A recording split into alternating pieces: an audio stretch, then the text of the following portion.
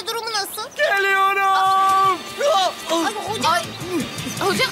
Tam saati söyledim ki senin sorunu duydum. Hemen cevap veriyorum evladım. Toygar oynayacak. Hocam. Hocam. Hocamsınız. Cevap veriyorum evladım çok iyiyim. Yalnız dün Ayşegül bir soru sordu. Bir öğretmen olarak cevap veremediğim için kendimi çok kötü hissettim. Zoruma gitti bunalıma girmeye başladım. Sonra içimde pıt diye bir şey oldu. Her duyduğum soruya cevap vermek zorunda kaldım. Her duyduğum soruya cevap vermeye başladım. E cevap verdikçe havalara girmeye başladım. Havaya girdikçe cevap vermeye başladım. Ama derken bağımlılık olmaya başladı. Yani bir oraya bir buraya koşturmaktan yakında aklımı kaçıracağım evladım. Her duyduğum soruyu cevaplamak zorunda hissediyorum kendimi. Ev, eyvah. Bir okul kapısında soru soruyor. De hemen cevaplayıp geliyorum. Cevap veriyorum. Okuldan çıkınca dümdüz devam ediyorsun. İlk soldan sağ Rüya. Rüya. Mi amor. Ah. Ay parça. Nar tane. Toygar geliyor. Beni sakla. Ya Rüya ne oluyor? Ah. Nerede benim ay? Ayşegül Hanım. Ayşegül Hanım. Benim küçük prensesimi gördünüz mü? Onu bulunca kucaklayacağım. Öpeceğim, öpeceğim, öpeceğim. Muah! Amor. Ee, şey e, şu tarafa gitti. tamam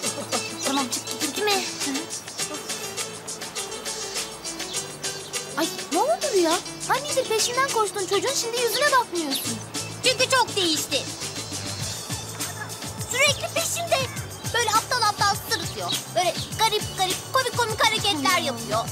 E tamam işte. Aşkından yapıyor. İyi de benim aşık olduğum Toygar bu değil. Ben böyle kaba saba, böyle beni arada bir tersleyen, böyle sert çocuğa aşıktım. Anne bu böyle Suvan Lewis gibi ya. O eski Toygar? Ha, duydun mu Gonca'nın başına geleni? Yo, ne olmuş? Dün kaloriferler çalışıyordu ya. Tuğçe sen git bizim Gonca'ya zorla paltoyla kaş koydun. Ee? Ondan sonra köşede bir yerde oturt böyle. Kız isilik ol. Okula geleme. Durumları da kötü tabii. Bir sürü masraf çıkmış hastanede. İnanmıyorum ya. Ne yapmışım ben böyle? Rüya. Aşkım. Ee, geliyor, geliyor. Bir tanem. Hayatım. Ah, ah. Aşkım. Evet. Kesin saklanıyor. Böylece zor kadın oynuyor. Ah, bebeğim benim. Seni bulayım. Sarılacağım. Öpeceğim, öpeceğim, öpeceğim. Amor. Rüya.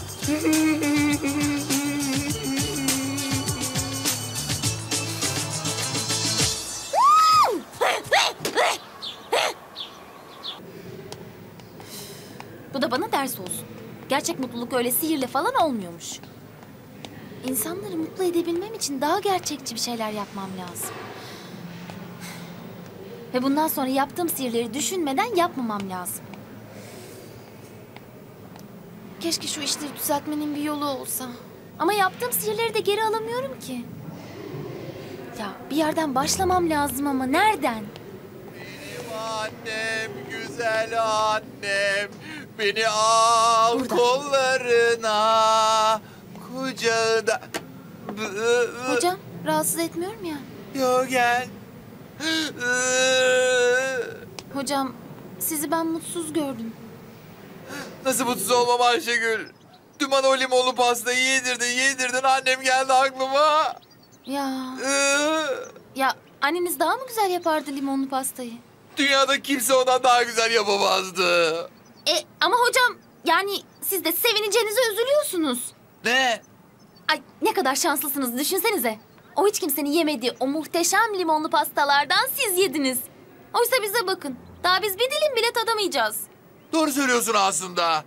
Ama ben de bir daha tadamayacağım, ben de yemeyeceğim. Annem o pastayı bir daha hiç yapamayacak. Yapamadığı için sadece siz değil hiç kimse yiyemeyecek. Ve siz yediğiniz için dünyanın en şanslı insanı olarak kalacaksınız. Ay ne kadar şanslısınız ya. Doğru. Çok doğru. ben çok şanslı bir insanım. o limonlu pastayı kimse ama hiç kimse yiyemeyecek. zavallılar, zavallılar. Sağ ol Ayşegül. Moralimi düzelttin. Ne demek hocam? Sizi bir nebze mutlu edebildiysem ne mutlu bana. Ettin, ettin. Hem de doğal yollarla. Nasıl? Ee, yok bir şey hocam. E siz mutlu olun, mutlu kalın bana yeter. Aman be nasıl limonlu pastamı yemişim. Klima umurumda bile değil. İnsanları mutlu etmenin verdiği mutluluk tabii başkaymış ha. Demedik mi yavrum biz sana? Deli Ferit. Deli Ferit ya. Bu da sana ders olsun meleğim. Eğer mutlu olmak istiyorsan insanları mutlu etmesini öğrenmen gerekir. Ve unutma insanları mutlu etmek çok büyük bir emek ister. Ay ne oldu buna böyle? Ama neyse canım. Ne olduysa oldu. Biz işimize bakalım. Şimdi yaptığım sihirleri tek tek geri alayım.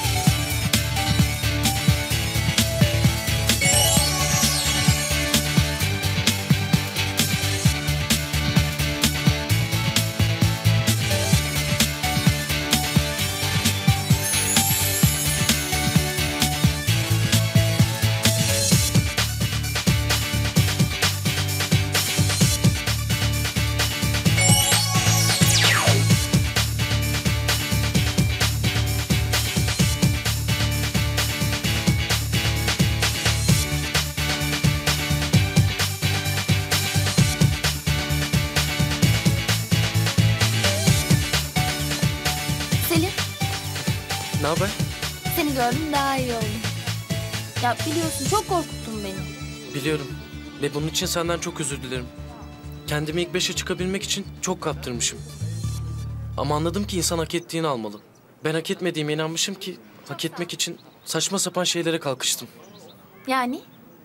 Yani maça ikinci beşte çıkacağım ama en azından içim rahat olacak. E, mutsuz değilsin değil mi Toygar yerini aldı diye? Hayır. Aksine Toygar'ın yerini haksız yere aldığım için mutsuzdum. Bu yüzden de kendime ceza verdim. Şimdi mutluyum. Hem sen de yanımdasın. O zaman tamamdır. Oh be, Ne tamamdır? boş ver.